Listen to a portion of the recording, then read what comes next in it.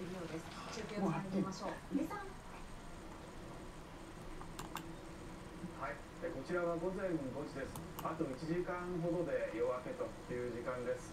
私の後ろに見える扉はですね、え2年前の7月にキャサリンがジョージ王子を抱いて出てきた扉です。まウィリアム王子と幸せそうにですね、報道陣の取材に応じ